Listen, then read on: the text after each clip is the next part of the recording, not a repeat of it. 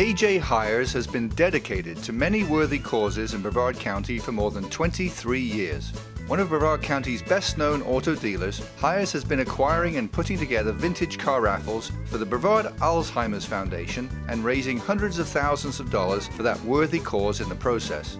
What began as a small, locally based fundraiser with the support and guidance of AJ Hiers, it has now grown into a unique nationwide event with worldwide participation, and it has raised hundreds of thousands of dollars over two decades and helped countless members of families in need. Hiers has also made a huge impact on saving pets on the Space Coast as he donates all of the food for the Brevard County Sheriff's Office Animal Care Centers. By providing food and medication for thousands of homeless pets looking for a loving home and family, he has contributed greatly to the no-kill status of the shelter. His support to the Brevard County Pet Posse charity additionally supports the needs of neglected and abused pets across the county.